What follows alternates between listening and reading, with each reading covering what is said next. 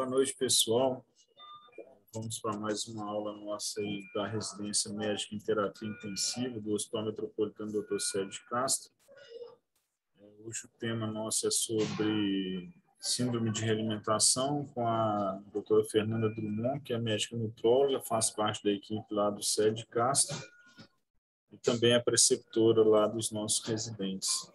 A aula tem uma duração de aproximadamente 45 minutos a uma hora, sem pressão, viu, Nanda? Pode ficar no seu tempo. Ok. E as dúvidas a gente vai conversar sobre elas ao final. Quem tiver, pode ir mandando no nosso chat. Os vídeos abertos, áudios fechados. E ao final a gente conversa. Nanda, obrigado pela parceria, pela sua presença. E boa aula para nós aí, tá bom?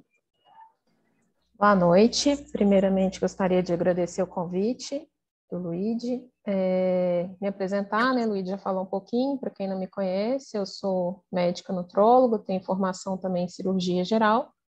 Sou titulada pela Sociedade Brasileira de Nutrologia, Sociedade de Nutrição Enteral e Parenteral, e médica nutróloga no Metropolitano e no João 23. O tema hoje é síndrome de realimentação, é, gostei bastante da escolha do tema, porque acho que todo mundo sabe muito falar, ah, estamos diante de uma síndrome de alimentação, mas quando a gente pergunta o que propriamente ela significa, gera muita dúvida.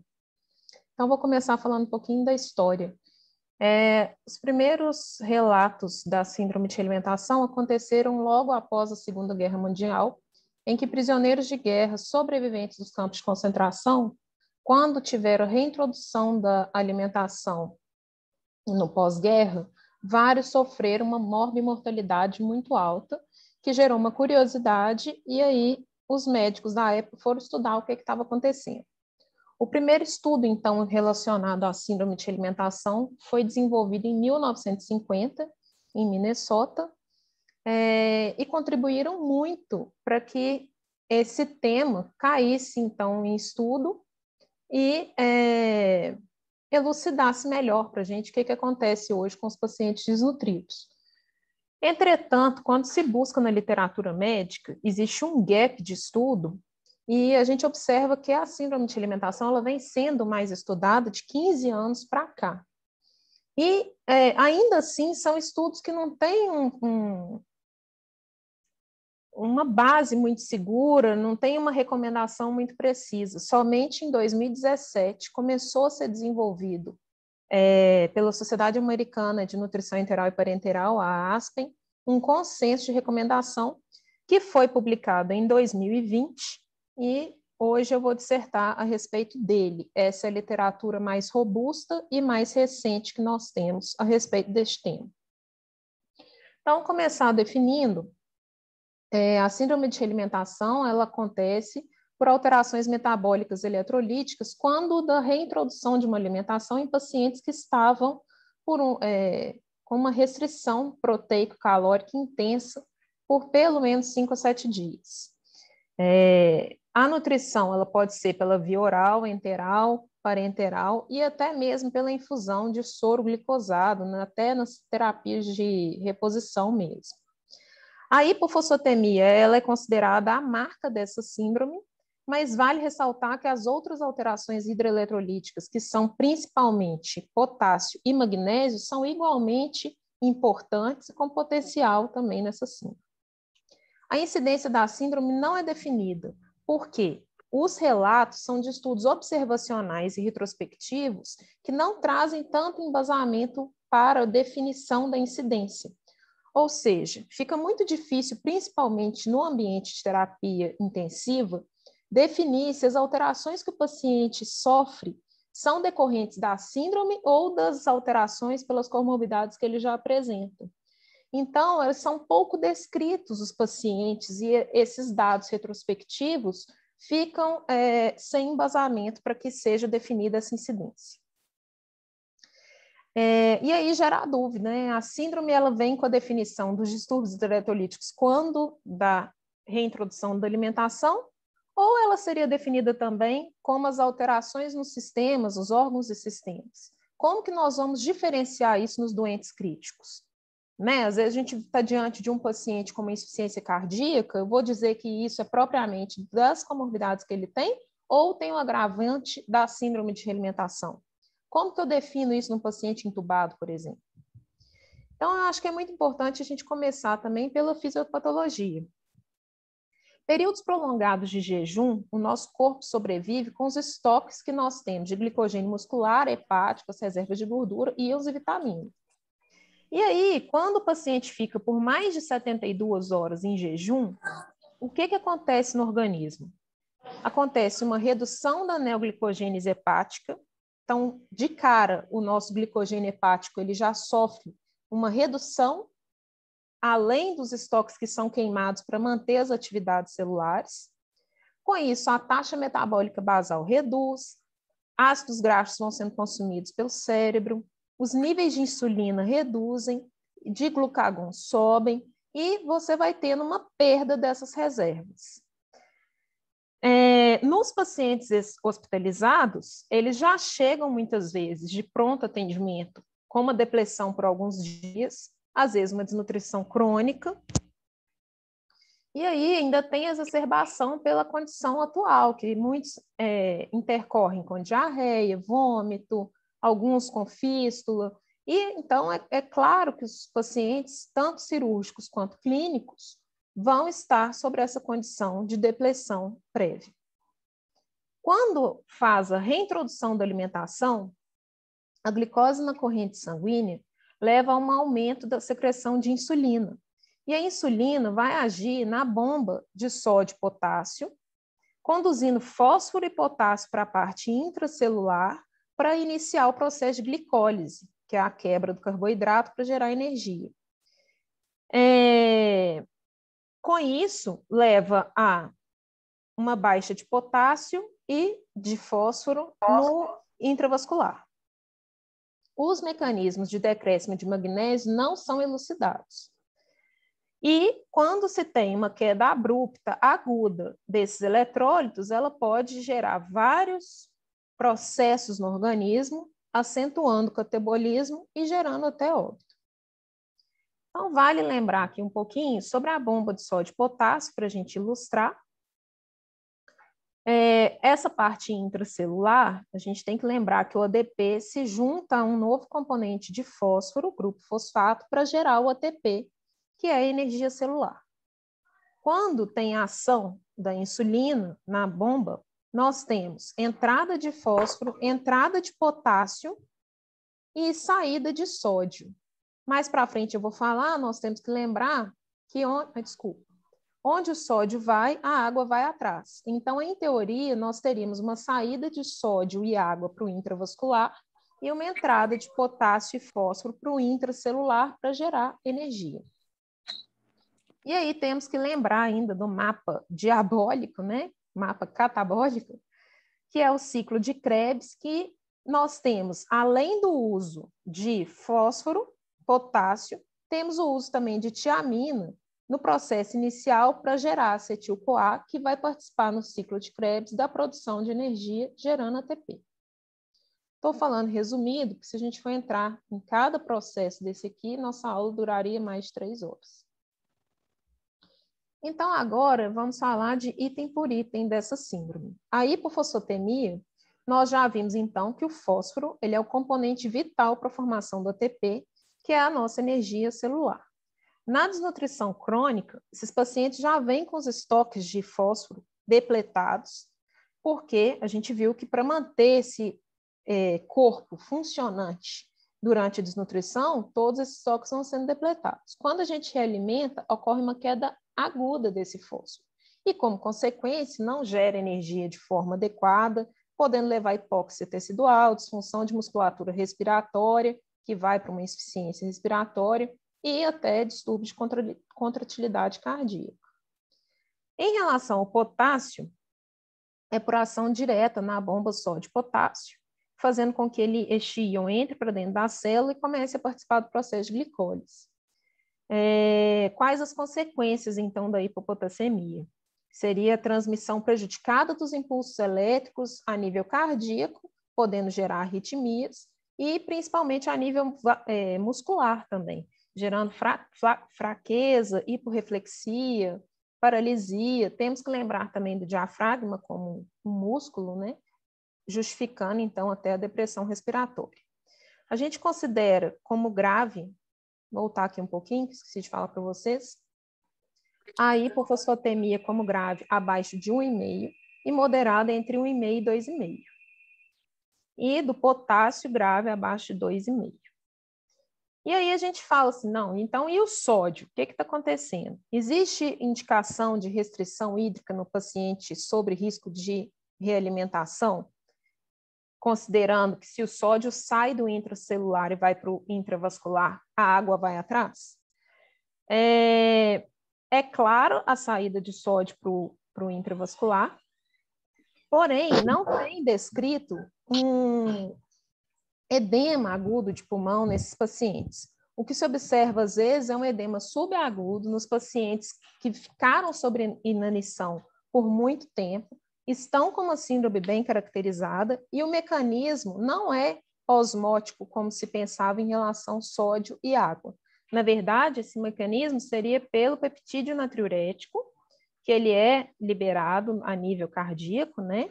Com aspecto de aumentar a natriurese e o volume, e por essa hiperinsulinemia decorrente da síndrome, esse peptídeo teria sido reduzido, gerando então extravasamento a nível capilar do pulmão. Mas isso é pouco descrito e pouco visto, na minha prática clínica, eu só observei pacientes com um, uma certa congestão pulmonar nos pacientes oncológicos muito desnutridos, muito graves. Em relação à hipomagnesemia, realmente não conseguiram elucidar o motivo da redução desse íon, é, mas ela é uma característica marcante também da síndrome de alimentação. E quais as consequências? Ela reduz a recaptação de potássio no néfron, é, reduz o transporte celular do potássio. O magnésio ele é extremamente importante em reações metabólicas enzimáticas que acontecem no intracelular e é, pode então ter repercussões no eletro, gerando arritmias, convulsões e até coma. Outra é, característica marcante da síndrome, tanto em relação a causa e em relação ao manejo é sobre a vitamina tiamina, né, B1. Ela também tem função coenzimática direta no ciclo de Krebs, ela é fundamental para iniciar o catabolismo dos carboidratos. E quando se tem uma oxidação desses carboidratos, é como se a nossa célula pensasse: passei por um período tão grande de restrição que agora tudo que entra vai ser absorvido, vai ser utilizado e vamos produzir de forma rápida energia. Só que nós não temos substrato suficiente nesse paciente desnutrido, depletado, para gerar essa produção rápida. Então, com isso, também leva a uma queda aguda e severa de tiamina. E a tiamina é fundamental para todas as células do nosso corpo. Por exemplo, a deficiência de tiamina faz com que piruvato no ciclo de Krebs seja convertido em lactato. Então, pode se agravar, sim, uma acidose metabólica. Então, de novo, como diferenciar, né? Não se sabe até hoje, no ambiente de CTI, como diferenciar essa acidose metabólica que às vezes o paciente está, é, pelas condições clínicas dele ou agravadas né, por uma deficiência de amina, por uma síndrome de alimentação. Isso ainda não foi descrito.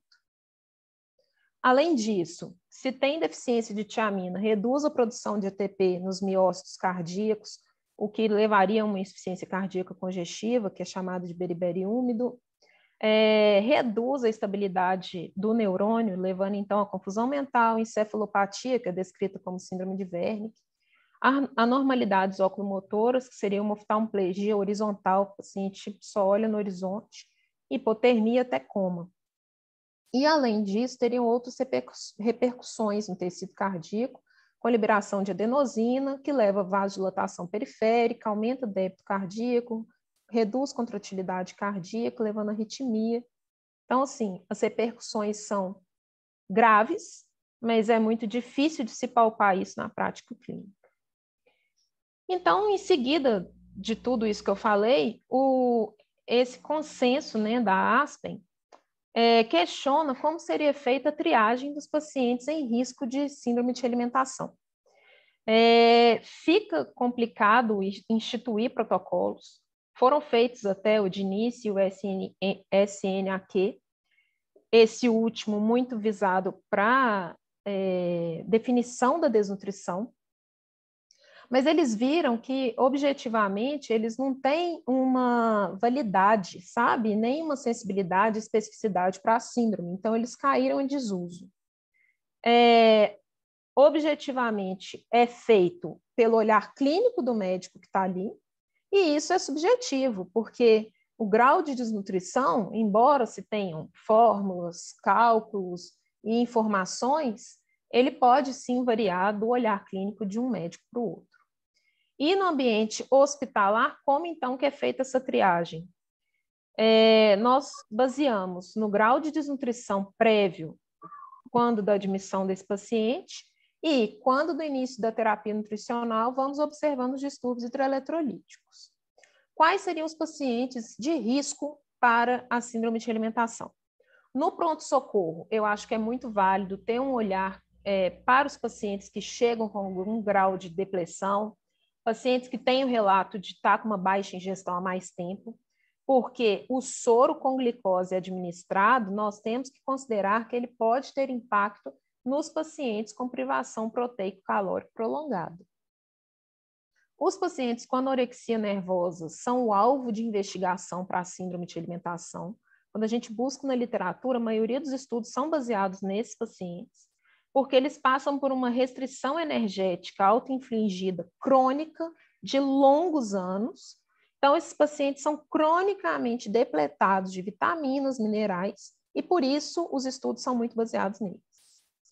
Portadores de desordens psiquiátricas, vale ter um olhar especial para eles, porque geralmente cursam com uma má alimentação por autonegligência, por falta de habilidade para comprar, cozinhar e até comer por inapetência secundária ao uso de medicamentos, por alucinações e uma ansiedade de comer em público. Então, vale prestar atenção. Nem sempre eles chegam com uma depressão de é, massa muscular e gordurosa, mas muitas vezes eles têm é, esse quadro de desnutrição arrastado e que não, não fica a, olho, a um olho nu assim tão evidente. Etilício usuário de droga, não, não tem nem o que discutir, esses pacientes são claramente deficientes em vitaminas, minerais e principalmente tiamina, e no alcoolismo mais acentuado, porque esses pacientes comem muito mal e vão depletando os estoques de tiamina. Em relação à insuficiência renal e hemodiálise, é, são pacientes crônicos para desnutrição, mas a síndrome de alimentação é incomum naquele paciente que faz HD é, todos os dias que demanda isso. Por quê? Por não clareamento renal, eles cursam com potássio elevado e fósforo elevado. Então, não tem como definir a síndrome de realimentação nesses pacientes através da definição dos distúrbios hidroeletrolíticos. Neles, a gente tem que tomar cuidado naqueles que claramente é, apresentam um edema, que já não estão nutrindo de forma adequada, principalmente em relação à proteína. Já na diálise peritoneal, em que tem uma depuração de fósforo e potássio um pouquinho maior, essa incidência poderia também ser maior, mas também não é conhecida por falta de registro científico mesmo. Nos criticamente doentes, são pacientes de alto risco, porque eles ficam longos períodos em depressão é, nutricional. São pacientes, tanto clínico quanto cirúrgico, antes deles piorarem, eles ficam em casa por longos períodos, às vezes, com uma baixa é, aceitação nutricional. Quando chega no hospital, às vezes chega no estado mais grave e é comum, né, no ambiente de UTI, a gente observa que muitos pacientes, até pela gravidade, ficam três, cinco até sete dias sem algum grau de nutrição. Quando essas calorias são reintroduzidas, existe sim o risco. E na malignidade, né, a inanição prolongada, seja pelos pacientes em QT, em quimioterapia e radioterapia, que sofrem é, por vômitos, anorexia, mucosite, diarreia e, às vezes, os quadros de obstrução intestinal. Esse slide aqui me chama muita atenção, é, porque às vezes são pacientes que, é, a olho nu, nós observamos como pacientes bem nutridos, e que não vão trazer preocupação, mas seriam pacientes que nós deveríamos ter uma atenção sim. Por exemplo, cirurgia bariátrica. Quem aqui nunca falou, ah, não, esse paciente é gordinho e não tem risco nutricional? Pelo contrário, esses pacientes têm um risco muito elevado, porque a qualidade alimentar do obeso é muito ruim, levando à depressão de vitaminas, minerais. No paciente cirurgia bariátrica, pior ainda, porque toda cirurgia bariátrica tem algum grau de é, desabsorção. E pela ressecção intestinal, pelo grau que, da cirurgia mesmo. Então, são pacientes que, embora tenham IMC elevado, IMC é critério admissão para definição de desnutrição, embora tenham IMC elevado, são pacientes que cursam com desabsorção. Então, são potenciais riscos. Assim como síndromes desabsortivas cirúrgicas ou clínicas, como a doença celíaca, por exemplo. Que numa crise aguda, o paciente tem uma baixa absorção dos nutrientes. E os recrutas militares e atletas, algumas vezes também são, porque eles têm a nutrição negligenciada em períodos de missão e competição. Muitos atletas, por exemplo, no período de competição, passam por uma restrição alimentar uns dias antes para atingir o peso, para chegar numa melhor performance. E nos dias meio de competição, a alimentação às vezes fica baseada em carboidratos simples. Quando eles são expostos a uma alta demanda metabólica, eles podem depletar tiamina e os íons e cursar posteriormente com uma, desnutri... É, com uma síndrome de alimentação. Nesse slide, nós temos, então, a recomendação da Aspen para triagem desse risco para a síndrome de alimentação. Então, na primeira coluna, a gente observa o risco moderado, o paciente que tem um IMC entre 16 a 18,5, que cursaram uma perda ponderal de 5% em um mês, que negligenciaram a alimentação ou tiveram essa restrição por 5 a 6 dias, ou tiveram uma aceitação menor que 75% em mais de 7 dias. E como alto risco, pacientes com IMC menor que 16, perda de peso de 7,5% em 3 meses ou 10% em 6 meses, uma restrição calórica por mais de sete dias, com uma ingestão menor que 50% em pelo menos mais de cinco dias. Nessa coluna, nessa primeira, em relação ainda a risco moderado, é, pacientes que têm níveis minimamente alterados ou normais no início, com uma moderada perda de gordura e massa muscular, e alto riscos que já mostram alterações hidroeletrolíticas mais expressivas, com uma depressão mais clara, aqueles pacientes que a gente olha e já fala, é, não tem músculo e não tem tecido adiposo. Como seria feita, então, a prevenção? No consenso, eles deixam bem claro que as pesquisas são conflitantes para orientar decisões em relação à prevenção da síndrome.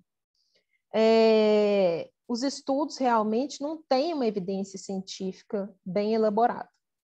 Então, é, é, importante observar a resposta fisiológica desse paciente à introdução da alimentação. Não atentar somente para alterações hidroeletrolíticas, mas porque muitas vezes, quando a gente fala, ah, o paciente está com uma boa tolerância à dieta, todo mundo pensa na tolerância em relação à parte gástrica. Esse paciente tolerou, ele não vomitou, não teve diarreia, né? não intercorreu com uma forma clara de intolerância mas tem sempre que lembrar de seriar os íons desse paciente. A tolerância ela vai além disso. Tem que observar se esse paciente não piora o padrão ventilatório dele na ventilação mecânica, se ele não demonstra alguma alteração no ritmo cardíaco relacionada aos íons também. E como essas recomendações em relação à prevenção são tão discordantes e ao manejo também, de forma geral, a maioria dos estudos recomenda uma, uma progressão lenta e gradual do aporte proteico calórico em até 3 a 7 dias.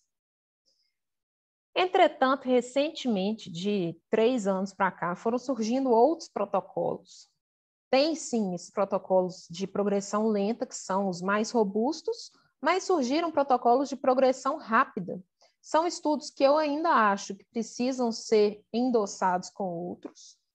É, os principais foram realizados na Austrália, são protocolos de progressão mais agressiva, que compararam a, os dois tipos de nutrição e eles observaram que a progressão mais rápida não potencializou os distúrbios eletrolíticos, que sim, o IMC da admissão foi um marcador maior de predição para o risco da síndrome, e que nesses pacientes que foram nutridos mais rápido, eles apresentaram menor tempo de hospitalização, uma menor morbimortalidade.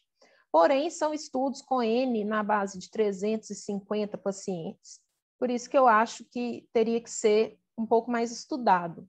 Além disso, esses estudos passaram por protocolos muito restritos, em que os íons eram dosados de 12 em 12 horas, as, as reposições eram realizadas criteriosamente a cada 12 horas, e não é essa rotina hoje em dia nos hospitais, né? Geralmente os exames são realizados a cada 24, é, a, o monitoramento desses pacientes, eles são, é, ele é mais arrastado de modo geral, então eu acho um pouco precoce a gente seguir esses protocolos rápidos.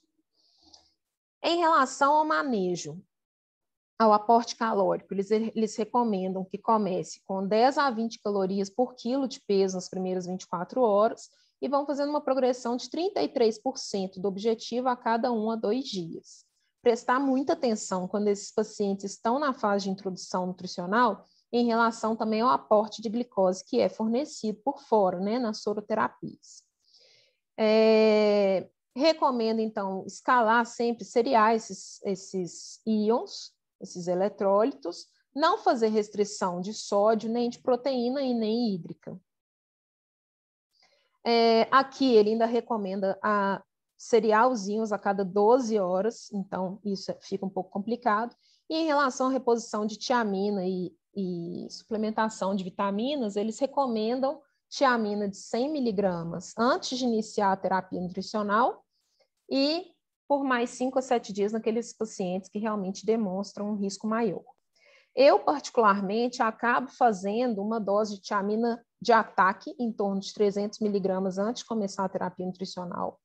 Nos pacientes que vão apresentando queda é, desses íons com uma forma mais expressiva quando da introdução da dieta, às vezes eu perduro essa reposição por um pouco mais de tempo. Então, aqui um resumo do protocolo. A manifestação é um, vem com uma ampla variedade de distúrbios a nível sistêmicos, com decréscimos leve até muito significantes dos distúrbios hidroeletrolíticos. E como critério, eles colocam que seria seria fósforo, potássio, magnésio, colocando como risco leve quando se tem uma queda de 10 a 20% desses íons, 20 a 30% para o moderado e mais 30% com algum risco já de deficiência de tiamina, como um risco de síndrome de realimentação grave. E colocam que está sobre síndrome de realimentação o paciente que apresentar um distúrbio hidroeletrolítico dentro dos cinco dias de início da alimentação. Essas foram algumas referências bibliográficas. Gostaria de agradecer a atenção de todos e me colocar à disposição para as dúvidas. Fernanda, obrigado pela apresentação bem sucinta e bem objetiva. É o padrão nossas aulas é nesse sentido. Na verdade, é mais uma conversa sobre a síndrome de realimentação que a gente, uhum. igual você falou, tem muita coisa que ainda está por aprendermos, né? A gente acha que sabe, mas na verdade tem pouca coisa publicada sobre ela, né? E é importante algumas, algumas observações que os pacientes que chegam para a gente dentro do CTI, muitas vezes eles já estão dentro desse período que você citou aí, com mais de cinco dias sem dieta, né? Às vezes, no nosso CTI especificamente, são pacientes que, que ficam numa, numa UPA aí três, quatro, cinco dias, né? Então, acaba chegando para a gente, a gente fica naquela angústia de passar uma sonda nasentérica e começar uma dieta e, intempestivamente, a gente não pensar nas consequências de uma progressão rápida e também de uma progressão muito lenta. Né? Eu acho Sim. que esse, esse tempo aí é que a gente talvez ainda leve algum, algum, algum algum tempo para aprender qual, qual é o ponto certo, né? Mas é importante, tem pacientes da cirurgia geral, por exemplo, né? Que às vezes o, o pessoal opera o paciente, a gente não tem uma via definitiva de dieta. Faz uma cirurgia alta, às vezes uma cirurgia na urgência, ou, ou, ou algum abdômen agudo que compromete a via alimentar, que muitas vezes o paciente fica sem a sonda, não pode passar a sonda por causa de uma anastomose, enfim. São coisas que a gente tem que escrever. Né? Então, hoje foi uma introdução ao assunto, assunto de realimentação, e tem residente nosso que deve rodar com você aí em breve, né? Eu acredito que eu vou ver com o Bruninho aí qual que vai passar com você nos próximos dias, e vou dar um dever de casa para o residente, que você vai ser orientadora, que vai ser o nosso protocolo de dieta. Ele já tem, nós temos um protocolo institucional, né, mas esse protocolo, acredito que ele precisa de uma revisão, e aí você agora que está com a gente, acho que vai ser bem-vindo aí sua, sua participação na, na, na revisão desse protocolo principalmente no que diz respeito ao momento certo de iniciar a dieta, qual dieta que a gente vai iniciar. Aí no nosso hospital a gente não tem problema de insumo, né, Nanda? Você deve ter percebido isso lá.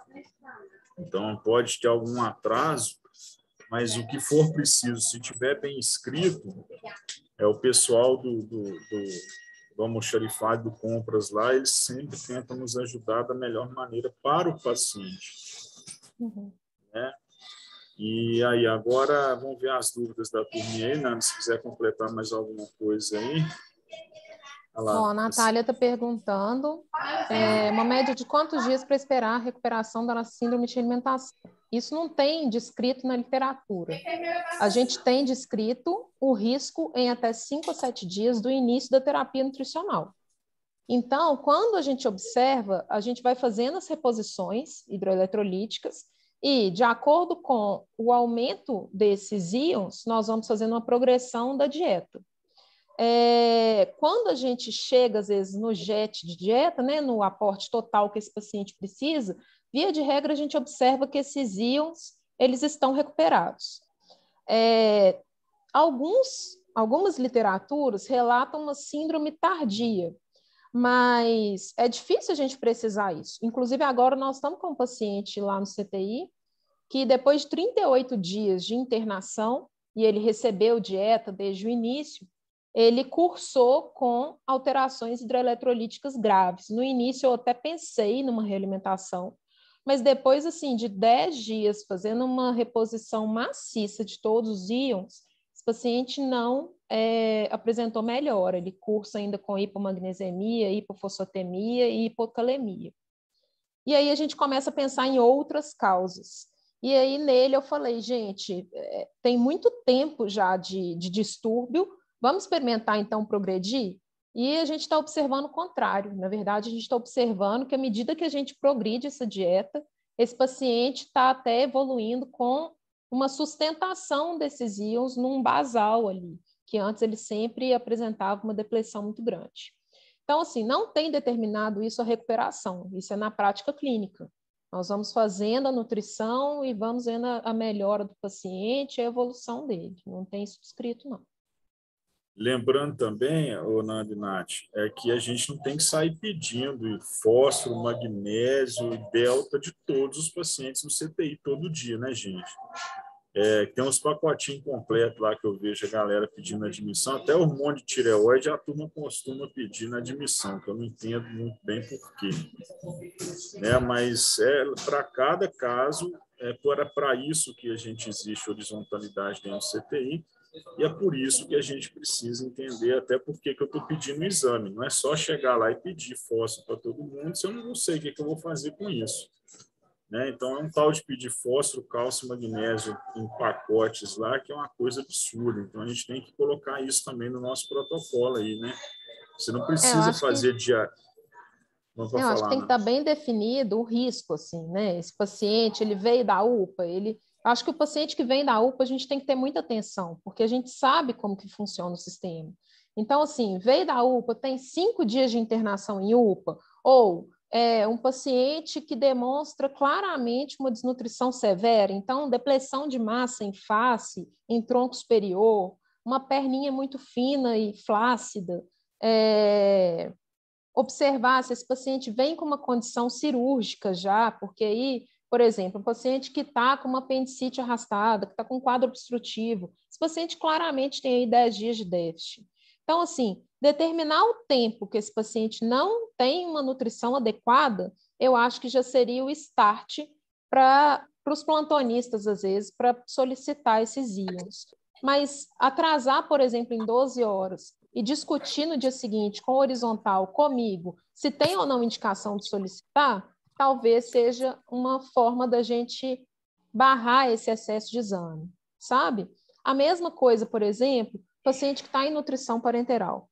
Nós não pedimos, via de regra, todos os exames todos os dias. Né? Estou aproveitando o gancho aqui, Luiz, porque é, o que eu tenho visto é que sai todo dia para todos os pacientes, TGO, TGP, gama, fosfatase, todos os íons. E isso é um manejo que não, não tem recomendação, né? A recomendação é triar o paciente de risco, pedir para esses pacientes, às vezes a gente até espaça um pouquinho, coloca aí a cada 36, 48 horas, sabe? O que, que adianta, às vezes, eu pedir um íon para 4 horas da manhã, sendo que eu iniciei a reposição meia-noite? Não vai dar tempo, né, de avaliar isso aí. Então, eu acho aí que é, é, ter um pouquinho mais de atenção. Né? Aí o pessoal, às vezes, não tem noção do, do custo disso, né? Não só do custo, Exatamente. mas também de você ficar tirando sangue do paciente ali toda hora. Né? Curando ele de forma desnecessária. Né? É, o Bruninho levantou a mãozinha aí, tadinho, educado. Ô, Fernando, primeiro, aí? aula aí. É, eu tenho uma dúvida prática que é a seguinte: ah, a despeito do cuidado de, de começar devagar a dieta, é, o paciente às vezes acaba é, evoluindo com a, o, o, as, os sinais né, de síndrome de realimentação. Assim, em relação qual a conduta adequada em relação ao manejo da dieta nesse momento que eu vi que no ponto que eu tô eu, eu acabei gerando é, é a, a síndrome de realimentação. Então, é, eu acho que a primeira atenção tem que ser dada à, à orientação de JET. Porque muitas vezes, embora a gente observe que a progressão de uma dieta ela acontece de forma lenta no hospital, quando tem lá aquela folhinha e coloca assim, JET de 60 ml hora, às vezes no calar da madrugada, progridem para 60, não checam os íons, e aí a gente chega, esse paciente está ali com uma dieta às vezes otimizada e tem uma depressão grave desses íons. Então, identificando, eu acho que a primeira coisa, reposição de tiamina, reduz o JET para 50% do objetivo desse paciente. Às vezes, se é um paciente com outros sinais de depressão, a gente reduz até mais ainda, sabe? Chegar a 30% do objetivo e calmamente nós reiniciamos a progressão dessa dieta com as reposições devidas. Valeu. Tem hora que eu acho que ir mais devagar na terapia nutricional é um ganho lá na frente. De modo geral, assim, para todos os tipos de dieta, sabe? Não adianta eu progredir é, via oral, por exemplo, para um paciente depletado, é, sendo que eu vou estar tá ofertando mais. A cada consistência de dieta que eu coloco, eu tenho maior aporte proteico calórico. Então, talvez sustentar aí uma dieta pastosa para um paciente alguns dias seja melhor do que eu ir para uma branda ou uma livre. A mesma coisa na enteral. Às vezes, usar uma dieta padrão 1.0, vou ter menos risco para esse doente do que eu colocar uma 1.5, 2.0. Porque muitas pessoas nem conhecem que a 1.5, o que, que ela significa? Eu tenho, um, eu tenho 50% a mais de caloria por ml do que eu tenho na 1.0. Então, eu faço uma progressão, ah, não, está com volume baixo de dieta. Olha aqui, ó, se o paciente está recebendo 30 ml hora, tá, mas ele está com uma dieta que é 2.0, eu tenho o dobro de caloria. Né? Atentar para isso. E a mesma coisa na parenteral. É, você reduzir, você fazer uma progressão mais lenta dessa parenteral, às vezes te custa outros prejuízos lá na frente, sabe? Te previne de outros prejuízos. Então, eu acho que é a cautela, é, observar esse paciente, triar ele bem na admissão e saber manejar depois, né? E aí eu estou lá quase todos os dias, eu só não estou final de semana, mas final de semana eu estou sempre disponível por telefone, podem usar e abusar de mim. E aí, Douglas, educadinho também, não é assim sempre não, gente? Pode falar não aí. Ô, Fernando, muito obrigado pela excelente aula. É um assunto que, que mexe muito comigo, porque o assunto definitivamente é muito subestimado em todos os outros locais onde eu trabalho e em todos os setores, particularmente na urgência, né, na entrada mesmo. Na uhum. enfermaria, então, eu não me recordo de ter presenciado, até durante a residência, algum momento sobre essa discussão. Eu não me recordo de ter prescrito chamina em dose profilática para a síndrome. A gente prescreve para os estilistas clássicos, né, que fazem uhum. realmente parte da composição dos hospitais públicos, particularmente, né? Situação de rua, uso grave de drogas, outras, mas nunca tinha prescrito. E ficou até uma dúvida, até pontual, em relação à prescrição, quando você comentou da dose de 300 miligramas, sabe? Porque normalmente eu prescrevo a dose de 100 diária, né, CTI, ambiente de enfermaria, e você comentou sobre a dose de 300 em determinados pacientes. Você está levando em consideração quais aspectos especificamente para aumentar essa dose? Na verdade, é, a dose de 100 é o ataque preconizado e aí você coloca ele para 5 a 7 dias. Alguns outros protocolos já colocam 300 para o paciente de alto risco. Então, são pacientes com IMC muito baixo, abaixo de 16, que chegam já com uma história de não estar nutrindo quase nada pelo menos sete dias, né, dez dias, e que eu vou começar, geralmente eu faço essa dose aí de 300 até para o paciente em parenteral. Porque a absorção da parenteral ela vai direto ali sanguínea, né? Vai direto no coração. Eu vou, eu vou em órgãos alvos, né? Fígado, coração, meu impacto é muito grande. Então, geralmente, eu costumo fazer essa dose de ataque. Em outros pacientes que chegam com fósforo abaixo de 1, um magnésio de 1, um potássio abaixo de 2,5. Então, assim, é, de forma objetiva, eu acho que são esses que eu faço essa dose um pouco maior. Combinado. Obrigadão. Não. Mas claramente é um assunto que é de 15 anos para cá mesmo na literatura que você consegue ver um pouco mais de, de artigos, e, e justamente por ser uma síndrome subnotificada, né, nós não conseguimos e não temos esse costume de, de notificar, de colocar esses dados é, de uma forma que a gente possa estudar né, futuramente, fica subnotificado, fica não estudado. É, eu vejo os residentes trazendo muito hoje o relato de ah, vivenciei uma experiência em que o paciente evoluiu muito bem, com inúmeros fatores de risco para a realimentação, e aí desenvolve uma IC aguda, de muito difícil manejo, e aí vai para a CTI, ninguém entende o que acontece. E retrospectivamente, claro que essa análise ela é mais, ela é mais fácil, claro, olhar para trás é sempre mais fácil. É mas por isso, né? Porque não se pensa e não se fala. Definitivamente é uma coisa é, muito realmente subfalada, né? É, chama e a tiamina cai no esquecimento. E quando a gente vai olhar a nível celular, né? Ciclo de Krebs mesmo, é, se você me pedisse assim, o que, que você quer se você precisar? Eu quero tiamina e fósforo. Se for pensar que o, o ATP ele é um ADP mais P, e esse P é fósforo, é o fosfato, eu só gero energia a nível celular se eu tiver fósforo e a tiamina está altamente implicada nisso aí. Então, assim, realmente fica no esquecimento a tiamina e todos esses outros íons. Né?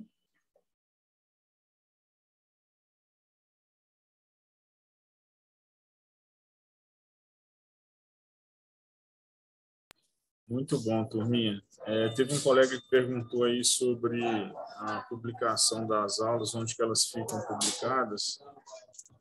Eu estou colocando o link aí agora para quem quiser acessar quartas intensivas. É, provavelmente amanhã de manhã já deve estar lá para a gente assistir. Tem outras aulas nossas aí do ano passado. A gente vai atualizar aí à medida que as nossas aulas forem acontecendo. É, mais alguma dúvida aí, pessoal?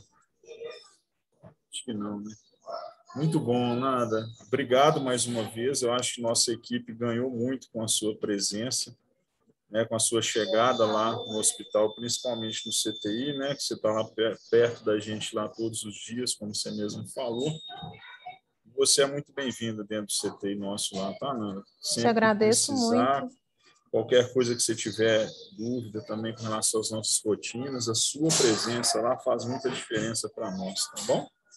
Te agradeço muito pela receptividade, pela interação que eu estou tendo com os horizontais, os plantonistas. e me colocar realmente à disposição. Final de semana que eu não estou lá, no manejo dos parenterais, isso não é problema nenhum para mim, eu sempre estou disponível, pode me ligar e todos os dias eu estou lá. Muito obrigada e pelo convite da aula também, atenção de todos.